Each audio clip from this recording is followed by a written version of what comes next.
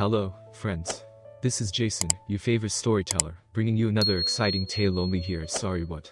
Today we have a two-part story, and this one is going to be good, I promise. Now drop that pitchfork, grab your favorite drink, and let's begin. Throughout the first half, the game had been a nail-biter with the lead changing at every possession. Lubbock High would score, then Ferguson High would get the ball, and Ferguson's quarterback Danny Keel would lead his team into the end zone to tie the game.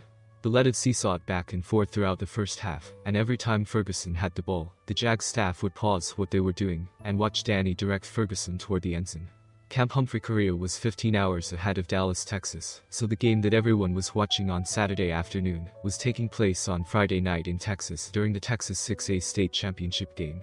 The game was being shown on a 90-inch wall-mounted monitor being cast from LTC Grant Keel's cell phone to the Apple TV tied into the JAG office AV system. During the second half, Ferguson started to pull ahead, and by the time the two-minute warning was given in the fourth quarter, Ferguson was comfortably ahead by a score of 48 to 38. The game was not yet over, and anything could still happen, but it was looking good for Danny's team, and that is exactly how the game finished, with Ferguson ahead by 10.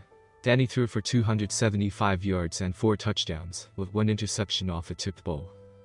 The JAG staff was working on Saturday to prepare for an upcoming Inspector General visit, and although they were overdue for an IG inspection, LTC Keel was not overly worried about this one. Still, there was always the niggling doubt that someone had overlooked obtaining a signature or getting a timestamp on a document. The JAG office had declared an all boots on the ground Saturday to ensure they were as close to perfect as possible. This inspection was even more important than most because it would be LTC Keel's last visit from the IG, due to his upcoming retirement from active duty. Grant had originally been scheduled to retire in three months, but it was decided that the IG inspection would be the perfect springboard for a change of command, so shortly after the inspection, he would be flying back to CONUS to begin out processing from active duty.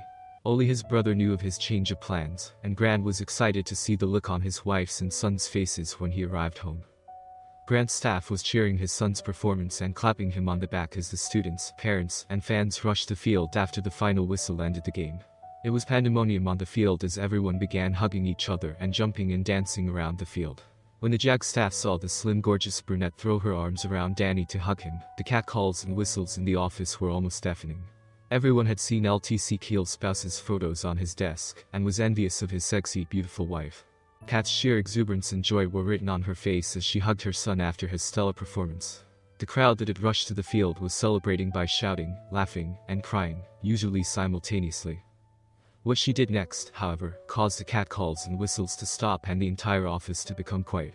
Cat jumped into the arms of Randy Cain, the Ferguson head coach, and threw her arms around his neck and her legs wrapped around his waist as she deeply and passionately kissed the coach. She was clad in black jeans that looked like they were painted on, a white tank top, and black boots with 3-inch heels. She had her ankles locked behind Cain's back as they kissed on the sidelines. LTC Keel stared at the screen in disbelief as the staff of the JAG office looked away in embarrassment. His son Danny was tugging on Cat's top as Cain released her, and she relaxed her legs to stand in front of him, her arms still around her neck. Grant stopped the stream, closed Safari, and sat at his desk, stunned at what he had just seen. What his entire staff had seen. The blatant disrespect shown to him by his wife and his son's football coach was unconscionable. Colonel, are you okay? Captain Lynn Dunaway asked. Grant looked at her and shook his head. It's not just that she's cheating it's that she's so flagrant about it. He was truly at a loss for words. Captain Dunaway grabbed Grant's hand and pulled him out of his chair. You need to get some air, she said as she directed him out the back door and into the small parking lot in the rear of the JAG offices. Grant knew he must have presented a pathetic sight as he stood in the chilly Korean mid-morning sun, with tears streaming down his face. What? The? Ducking. Duck. Captain Dunaway said. Jesus, Colonel what she did that's royally ducked up. As Grant stood there trying to come to grips with what he had just witnessed, his phone dinged with an incoming text. Danny. Wish you were there. Awesome game. We won 48-38. I threw for 275 and 4 TDS. Grant looked at his phone debating how he should respond. Captain Dunaway could read his thoughts, however, because she grabbed his wrist before he could return his son's text.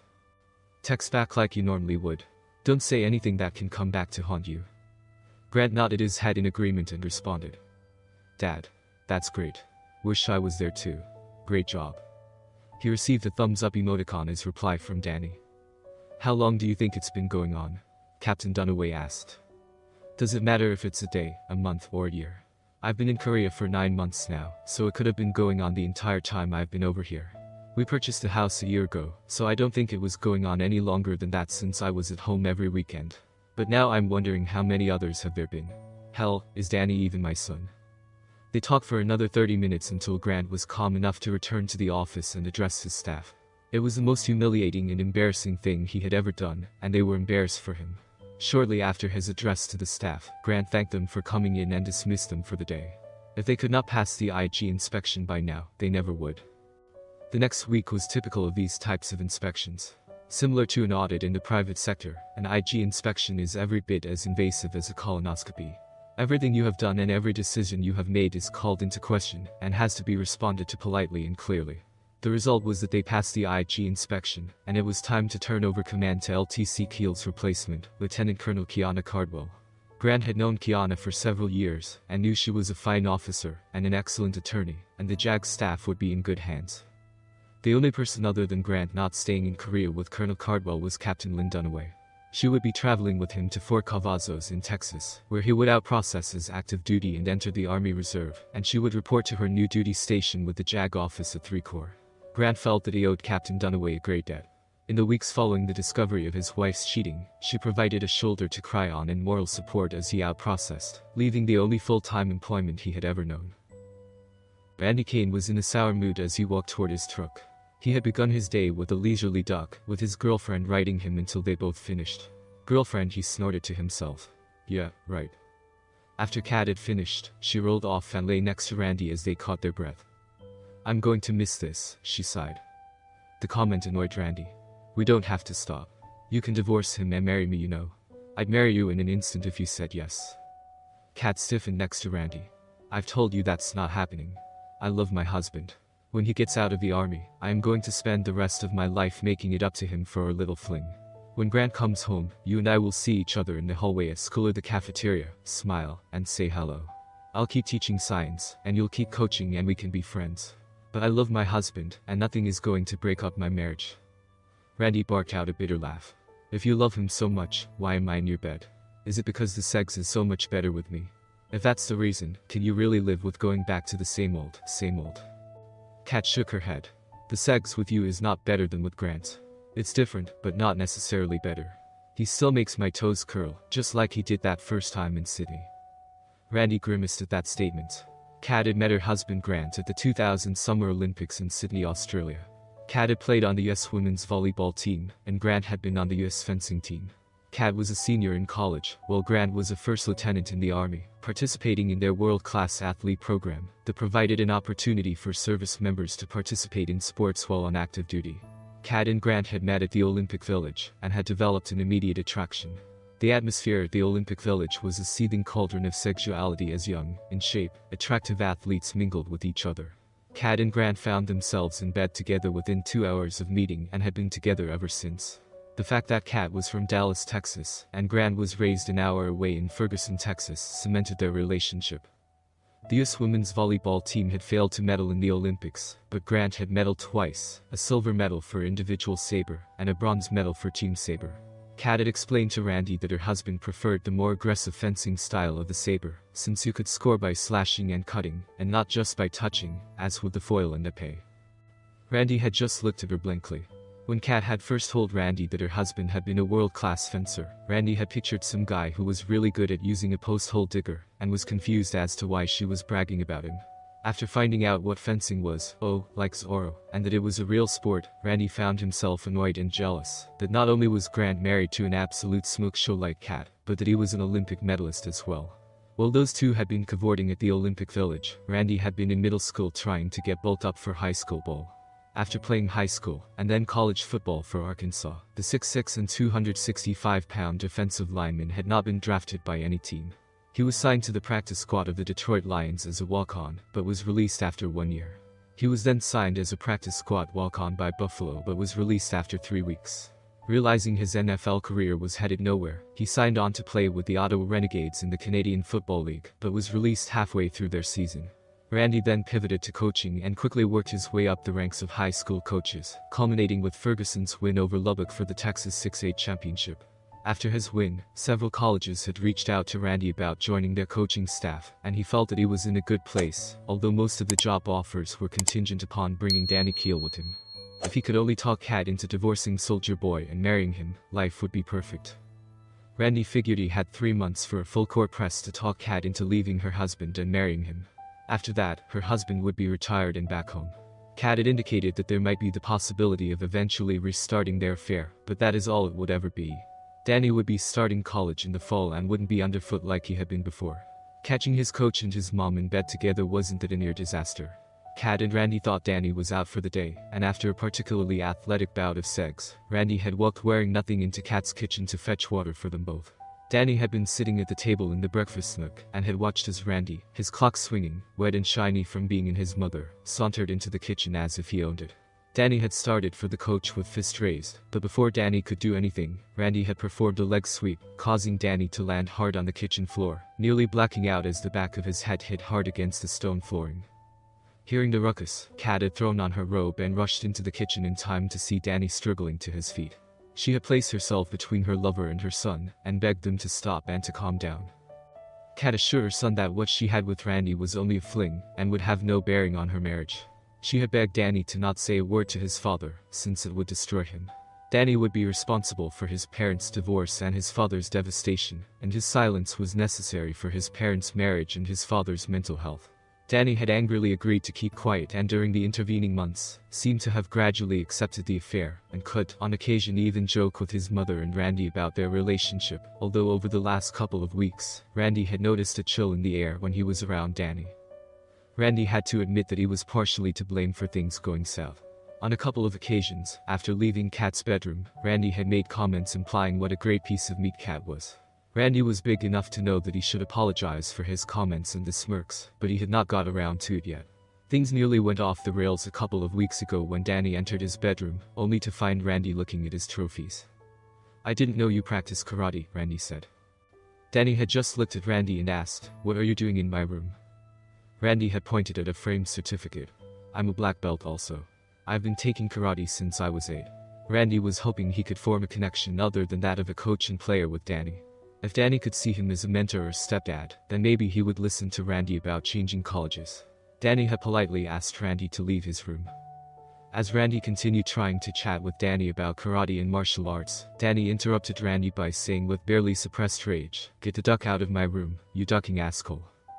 Randy was about to retort back to Danny, but at the last minute pulled back. He didn't care about Danny's feelings, but he didn't want to cut himself off from Cat's kitty. Have you given any more thought toward changing Danny's mind about college? Cat rolled her eyes at Randy bringing this subject up once again. He's not going to change his mind. He's been planning this his whole life, and he's not going to change his mind this late date. His father went there and that's where he's going. No one except a bunch of soldiers and sailors gives a sheep about watching Army play Navy. I don't understand why he wants to go to West Point when he can go to any D1 school in the country. It makes no sense to me. He plays at a top school, then he gets drafted into the NFL, and he's set for life. Unset by Randy was the thought that it could also vault him into a college coaching job, and maybe an NFL coaching job as well. All the better if Danny is his stepson, but his future could be set even if things didn't pan out with Cat. After all, she was 10 years older than Randy, and while he did love her, Danny could hold the key to Randy's future, not his mother. More to shut Randy up than because of any feeling of desire for him, Cat leaned over and took Randy's clock into her mouth.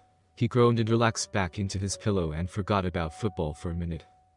As Randy rounded the front of his truck after exiting Cat's house, he noticed the driver's front tire was flat. Ducky thought, this could not have happened on a worse day. Randy was already running a bit late due to Cat's last-minute blue job, and now the thought of changing a flat pissed him off. Today was the scheduled pep rally for the revealing and hanging of the state championship banner. The entire football team and coaching staff would be faded and fawned over, and Randy's role was to deliver a short speech and then introduce each player, relating a fun fact about them. Reporters would be in attendance, and Randy looked at the event as another way to increase his coaching profile. As Randy squatted next to his flat tire, he felt, rather than saw someone behind him, before he felt something strike him in the back. The blow did not pain him at first, but it did knock him to his knees, after which the intense pain began. Randy was able to turn around and look up to his attacker who he saw was wearing a black hoodie, dark wraparound sunglasses, and a black N95 COVID mask, effectively concealing their identity. He saw his assailant bring the aluminum baseball bat back, and then time seemed to slow as Randy saw the bat swing forward. Randy was able to read the manufacturer's name of Easton in large letters on the barrel of the bat, and below that the phrase V5 Pro Big Barrel, as he watched the bat head for his face in slow motion. He saw, rather than felt, the bat hit his jaw, but mercifully, the impact rendered him unconscious, so Randy did not feel the destruction of the left side temporomandibular joint, as the mandible and temporal bone, known collectively as the jaw hinge, separated as they, along with the entirety of the left side of his jawbone, were pulverized into small bits and powder by the force of the swing. Neither did Randy feel the impact as the aluminum bat struck his testicles twice, destroying one and badly damaging the other. Nor did Randy feel the bat strike the patella of each knee, as the kneecaps were shattered, and the underlying bones and tendons badly damaged. This was followed by strikes to the humeral nerve joints of the elbow, the damage of which ensured that for the remainder of his life, supporting his weight during the missionary sexual position would be Randy's least favorite way to have sex, on those few occasions when he would in fact be able to have sex. The unknown attacker then grabbed a bicycle that had been parked in the landscaped area of the cul-de-sac across from the Keel house, hopped on, and pedaled swiftly away from the scene. As Cat hurriedly backed out of her garage late for the pep rally, she was surprised to see Randy's pickup truck still parked on the street in front of her house. Her home was located at the end of the cul-de-sac and saw little traffic, so she had never worried about Randy parking his truck in front of the house. Her three-car garage housed her Lexus, Danny's Camaro, and Grant's Lincoln SUV, so the street was the only place for his Dodge Ram with its oversized tires and raised suspension. As she backed into the street, she glanced at his truck and was startled to see Randy lying in the street. Thinking he may have fallen or had a heart attack, Cat threw her car into park and ran to assist Randy. As she ran up to him, she saw the unnatural position of his arms and legs, and as she took in his face with the jaw hanging loose and unattached, she screamed, and the world seemed to go hazy for a moment. Coming to her senses, Cat grabbed her phone and called 911. She then had the presence of mind to call the high school and explain that neither she nor Coach Cain would be in that day. Detectives Mann and Lucas sat next to each other on the sofa in Cat Keel's living room after declining her offer of coffee. Hopefully this won't take long, Mrs. Keel, the male half of the pair, Detective Mann said. What was the purpose of Coach Cain's visit so early this morning? Cat had flushed crimson at the question. He stayed the night, she said quietly while looking down at her hands which were clutched together in her lap. The detectives glanced at each other, and then Mann asked the obvious follow-up question. Are you involved in a sexual relationship with Coach Cain? Cat had nodded her head as tears leaked from her eyes. How long have you been involved with Coach Cain? Approximately nine months, Cat answered in a new whisper. Does your husband currently reside here? Detective Lucas, the female half of the duo, asked. My husband is stationed at Camp Humphrey in Korea, Cat sobbed. He's due to retire in three months and return home. At that, Cat had to pause the interview to take a couple of deep breaths. Is he aware of your relationship with Coach Cain? Oh no. He must never know about my affair. It would kill him. This whole situation needs to be kept from him, Cat implored pleadingly. Mrs. Keel, we're going to have to interview your husband. A man was severely beaten after leaving the house which he co-owns with you. There is absolutely no way of keeping this situation from him, Detective Lucas said. There was a long pause as Cat began sobbing loudly and left to gather herself. When she returned, a box of tissues in hand, the detectives resumed their questioning. Mrs. Keel, are you sure your husband is in Korea? Could he have returned to the United States? No, that's impossible. If Grant was in the US he would be here. My husband loves me too much to stay away from our home. Cat pulled out her iPhone and tapped the screen. See? He's still in Korea. The Apple Find My phone clearly showed her husband's phone as being in Korea. Mann and Lucas looked at each other thinking the same thing. All that proved was that his phone was in Korea. Mrs. Keel, who else lives in the house with you? My son Danny, Cat replied. Could he have attacked Coach Cain? Detective Mann asked. No, that's not possible. I heard his car leave about 30 minutes before Randy was attacked, and I know he was at the school pep rally at the time. My son has a good relationship with Randy. He was Danny's coach in football. Detective Mann was aware of the fact that Randy Cain was Danny's football coach.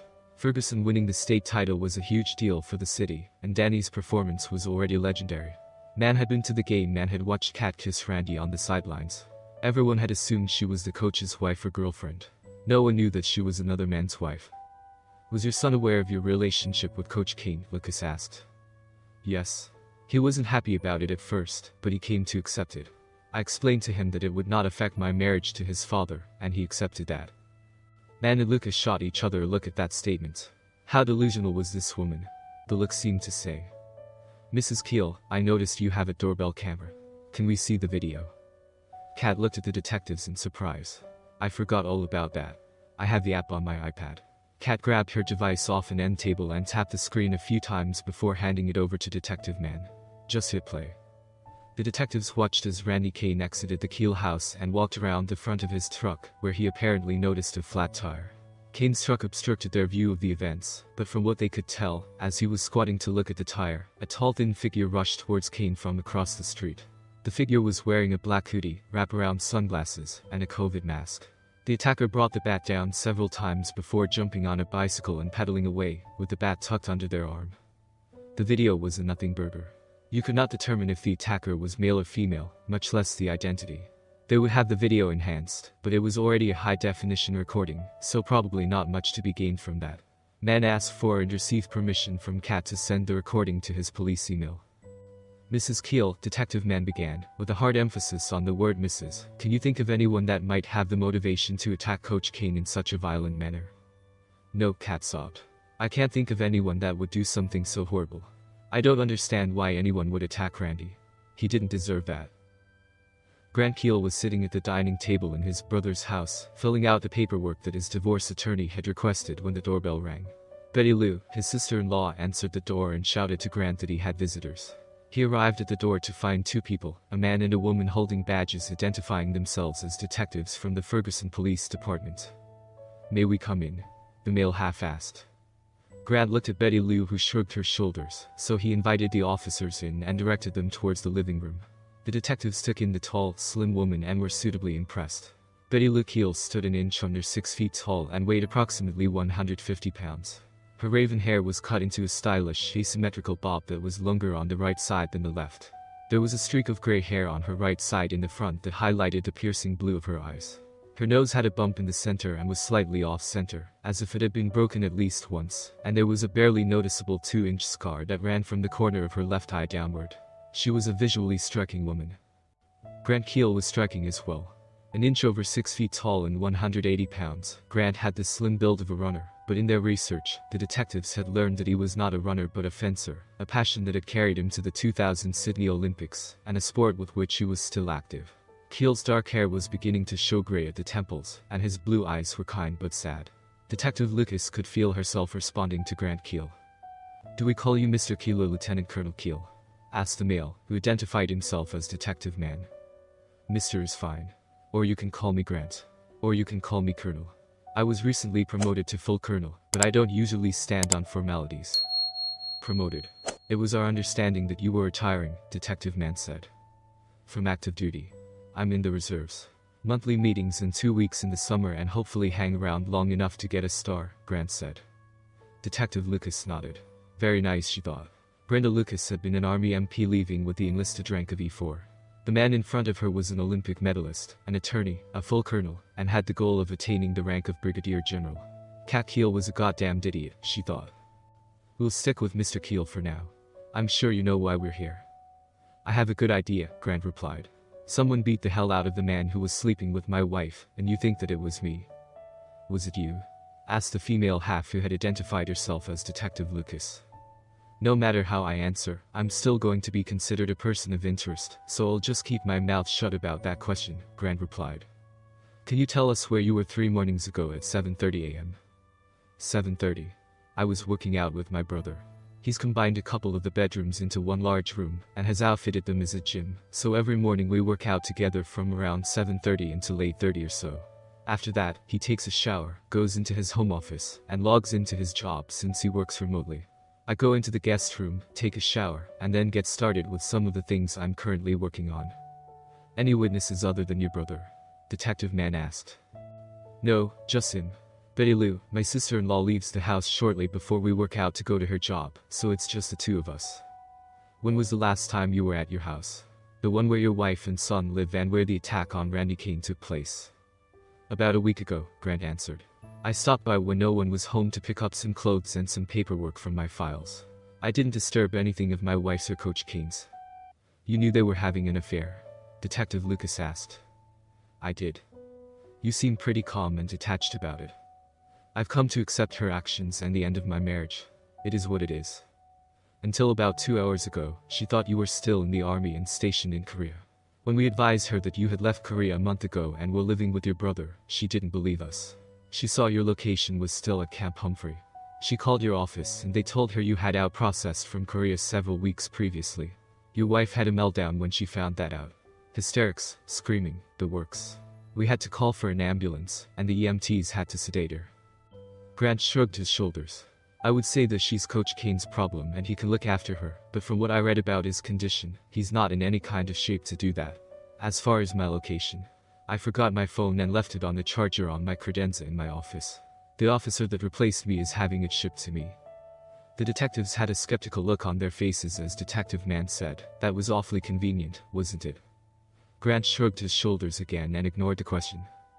Leland, Grant's brother, chose that moment to exit his home office and paused as he saw Grant speaking with the detectives. They think you did it? Leland asked. Grant nodded his head. They haven't accused me yet, but they're easing into it by coming at me sideways. They were about to ask me how I knew about my wife's affair and why I didn't tell her that I was back in Ferguson. From there they'll probably ask you about my alibi, and then they'll try to arrest me for first-degree felony assault, before realizing that they have no evidence and no case. Then they'll get frustrated with me and tell me not to leave town before they leave to go annoy someone else. Sounds about right, Leland agreed. The two detectives had been staring at Grant and Leland in disbelief as they calmly discussed what actions the detectives would be taking, their heads swiveling back and forth like someone watching a tennis match as Betty Lou Keel looked on in amusement. How do you know what we're thinking? Detective Mann asked, looking at them suspiciously. I was an Army JAG officer. I've overseen more investigations than you can imagine. My brother was an Army CID agent before retiring and opening his own security company. We know what you're thinking before you think it. Detective Mann had an annoyed look on his face at the thought of his game plan being so transparent.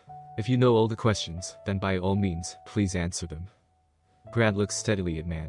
I knew about my wife's affair because I saw her making out with Cain after the state championship game. I'm sure you've seen the video. Mann nodded, he has seen the video of the kiss. Everyone assumed it was Randy Cain's girlfriend, but in the wake of the attack, word was starting to filter out who the identity of the woman was. I didn't tell her I was back in Ferguson because I don't want to see her. I'm working with a divorce attorney, and I didn't want to hear her attempts at justification for her actions or her trying to blame me. And your son? Mann asked. You haven't contacted him either. You saw his interaction with Cain and my wife. I did. He didn't seem bothered by it. Grant nodded his head. Doesn't seem that we have much to talk about, does it? So, Detective Lucas said, do you have an alibi? Should we show them the recordings? Leland Keel asked. Grant nodded. This seems like a good time. What recordings? What do you have recordings of?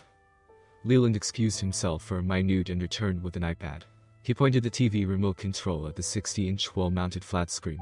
As the TV powered up, he mirrored the iPad S to the TV screen and hit play. I have cameras around the house, including the hallway, the front door, and the backyard. This is the video from this morning. The TV screen displayed six different camera feeds. A doorbell camera faced the street, another camera faced outward toward the backyard, and a third camera was located in the garage. The remaining three cameras displayed the kitchen, living room, and the hall which contained the bedrooms. This was the feed at 7.22 this morning. They watched as Betty Lou exited her bedroom wearing a white blouse, black pencil skirt, and black heels, dressed for her job as CFO of a medical services company. The camera caught her walking down the hall, losing her as she neared the end of the hallway. The living room camera then picked her up as she walked through that room before being lost, and then picked up by the kitchen camera. That camera lost her as she exited into the garage. The dark garage was suddenly illuminated as the garage door raised, and the camera picked her up as they watched her enter her Lexus SUV. Betty Lou backed out of the garage, and the camera was able to follow her SUV as it backed into the street. At the same time, the doorbell camera picked up a side view of her vehicle as she entered the street before the garage door lowered. Leland froze the image by pressing pause. You can see by the timestamp that this image was taken at 7.25 this morning. Leland then tapped the screen a few times advancing the image to 7.28. This is me and Grant. They watched a video of Grant and Leland approaching a room in the hall from different directions. Grant was wearing a red hoodie and red sweatpants, while Leland was wearing the same thing, a red hoodie and red sweatpants. I'm coming from my bedroom and Grant is coming from the guest room, Leland explained. Grant entered the room first, followed by Leland. We can sit here and watch an empty hall for an hour, or I can fast forward an hour. You call, Leland said, looking at the two detectives. Fast forward it, Detective Mann said. Leland tapped the screen several times and froze the screen as Grant and Leland emerged from the room at 8.26. They had worked out for 58 minutes. This is the video from yesterday, Leland said. The video was nearly identical to the video of today's activities, with the exception that the times were a couple of minutes off, and Betty Lou, instead of wearing a pencil skirt, was wearing a stylish woman's black pantsuit with heels. Grant and Leland, again came from opposite ends of the hall, meeting at the door to the home gym wearing matching sweatsuits, this time gray. They again stayed in the gym for an hour. Leland tapped the iPad screen a couple of times bringing up another set of screens. This is the same video recordings, but on the morning that the asshole was attacked. They again saw Betty Lou exit her bedroom, but instead of being dressed for work, she was wearing workout gear consisting of a thin black hoodie, black exercise tights, and white tennis shoes. I took a day off to train because I'm competing in a triathlon in a couple of weeks. Today was a bike day and I rode the bike path around Ferguson Park four times, Betty Lou explained. They watched as Betty Lou backed her SUV out of the garage, and noticed that this time, there were bicycles in the bike carrier attached to the rear deck of her SUV. As they continued to watch the recording, they saw Leland exit his bedroom wearing a black hoodie and black sweatpants, and a couple of seconds later, Grant exited the guest room, also wearing a black hoodie and black sweatpants. The detectives looked at each other in disbelief. Are you fin kidding me? asked Detective Lucas. Are you three for real? Do you expect us to believe that it's a complete coincidence that the three of you are wearing the same type of clothes that Cain's assailant wore on the day he was attacked? Leland and Grant shrugged at the same time. We're going to let the recording speak for itself, Grant replied.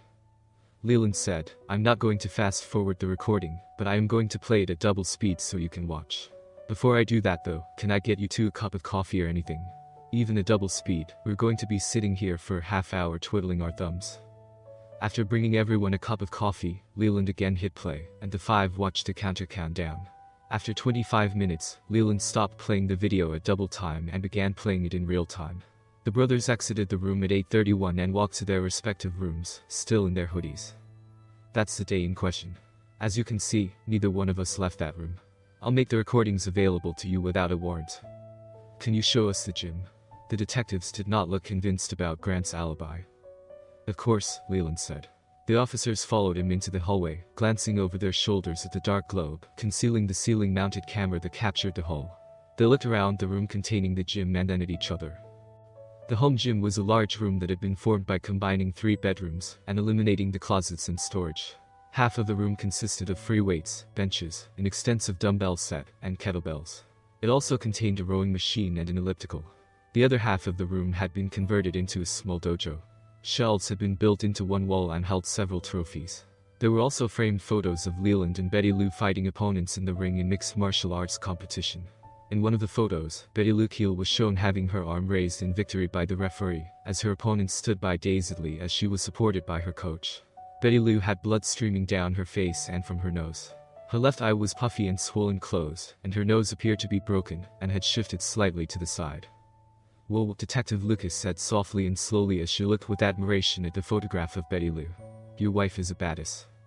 You'd better believe she is, Leland Keel said with obvious pride. And for way more reasons than just this, he said as he waved his hand toward the photos and trophies. She's fiercely loyal to her family and friends and is the best woman I've ever known. She's one of a kind, and I will never get tired of letting her know that. Grant nodded his head sadly. At one time, he had thought the same thing about his wife, but thinking back, Cat was never like Betty Lou. She never had that intense loyalty. What about the windows? Detective Lucas asked. There were ordinary house windows in the room with wooden blinds that were currently in the open position. Are you asking if I could have snuck out during the middle of a workout and attacked Coach Cain? Grant asked. You could have. Or he could have, Detective Mann said, pointing first at Grant and then at Leland. That's true, Leland said. But we didn't. Can you prove that? Can you prove that you didn't sneak out? Detective Lucas asked in an aggressive tone. Detective Leland said, that's not the right question. Yeah. Well, what's the right question? Detective Lucas asked, her annoyance obvious. The right question is, can you prove that we did sneak out? Grant answered. I'll show you two out now, Leland added. Colonel Cardwell, how may I help you? Colonel Cardwell, I understand you are the officer in charge of the JAG office at Camp Humphrey. That is correct. Who's calling, please?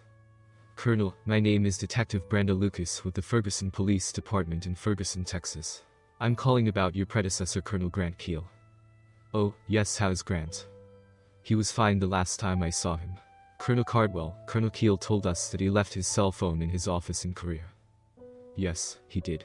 It was on the charger on the credenza in what used to be his office. I didn't know where to send it so I hung on to it. A few days ago, he called me with an address in which to ship it, which I did.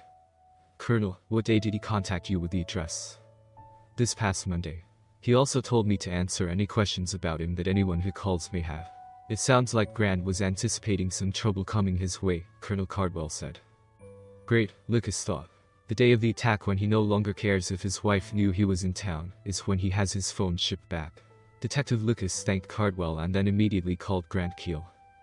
I spoke to Colonel Cardwell and she verified what you claimed about your cell phone. She also stated that she shipped it to you. Colonel Cardwell is very efficient. If she said she shipped it out on a certain day, you can bet your pension that she did. Colonel, I want to be the one to open that package. I want to see your cell phone before anyone else. I don't have a warrant and you are within your rights to say no, but this will go a long way towards establishing your innocence. There was a long pause on the other end of the phone before Keel replied. I don't guess I have a problem with that since I don't have anything to hide. I'll call you when it arrives. If she shipped it out on Monday, it should be here in a day or so. During a canvassing of the neighborhood around Leland Keel's home, the detectives discovered the house across the street from Leland Keel had a doorbell camera that faced the Keel's home. When asked, the homeowner Bobby Lee Gearson stated that yes, his doorbell camera took video, and yes, it was stored on the cloud. The detectives felt they were getting their first break in the case, and sat down with Gearson to review the recording. Because the houses were catty-cornered from each other, Leland Keel's doorbell camera was angled to capture his own driveway, but recorded only the side of Gearson's house. Gearson's camera, on the other hand, was angled to provide the perfect view of the Keel's home. Bobby Lee Gearson was a fire department captain who had a sideline in designing fire suppression equipment. He had several patents and had licensed his designs to several companies. He had a machine shop attached to the rear of his house with a CNC table, milling equipment, lathes, and cutters. He was divorced and for hobby practiced martial arts and held a black belt in karate. There was a clear shot of the entirety of the Keel house, including the windows in the home gym for the day of the attack on Randy Cain. At approximately 7.15, the video showed Bobby Lee Gearson, wearing a black hoodie, black sweatpants, and white tennis shoes carrying yard tools from his garage to the front porch, including a rake, hoe, and shovel. As they watched, Gearson leaned his tools against the wall containing the doorbell camera. They watched in disbelief as he leaned the shovel with the blade up and handle down, rather than with the shovel blade down and handle up like any normal person would have done.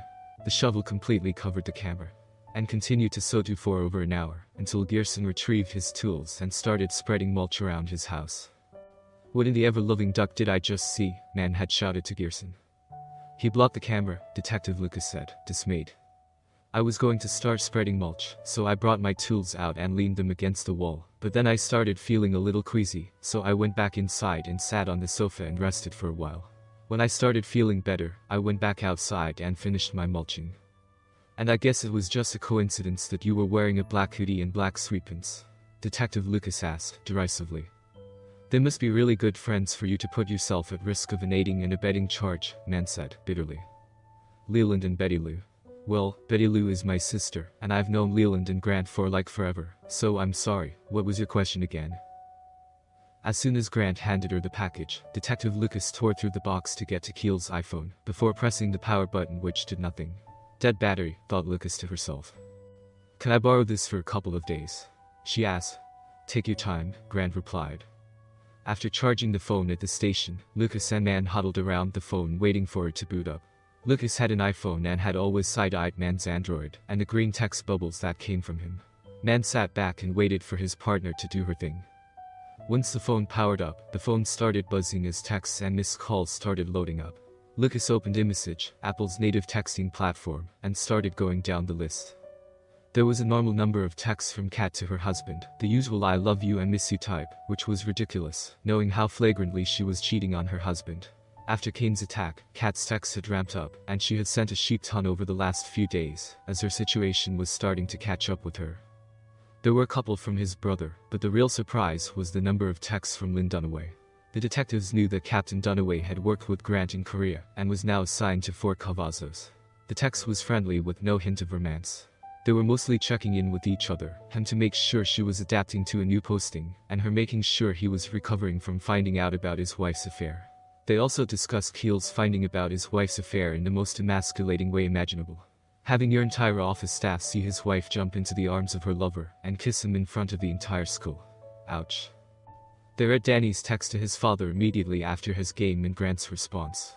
There were a couple more how's it going type texts before they came across a video that Danny had sent to his dad, his uncle Leland, and Betty Lou, and her brother Bobby Lee. The video was self-taken of Danny standing in front of a mirror, and it was date 10 times stamped a week before the attack. In the video, Danny said, the pep rally for the banner presentation is next Monday at 9 am. I hope you can make it, but I'll understand if each of you is too busy. I'll talk to you soon. Poor kid, the detectives thought. He sounded so down, and his dad's family was cutting him out of their lives for keeping his mother's affair secret. Explain this to me like I'm five, Mann said. He hasn't had his phone for over a month, but I can see that he's been responding to texts from his kid and his wife the whole time. What's up with that? Assuming he doesn't have another phone, then he either has an iPad or a Mac since to his iPhone with his iCloud account. He can respond to text, and the other person doesn't know they're not coming from his iPhone. The iPhone location shows Korea, and he's a mile away at his brother's house, sending them texts. Duck. Me, replied Detective Mann. His family thinks he's in Korea, meanwhile he's in town making moves and getting his divorce going. Yeah, but so what? Where does that get us? Nowhere, except knowing he's a sneaky bastard. That's it for part 1, friends. Who do you think did it? Let me know in the comments. Be honest though, you don't care who did it, as long as Randy got what was coming to him, do you?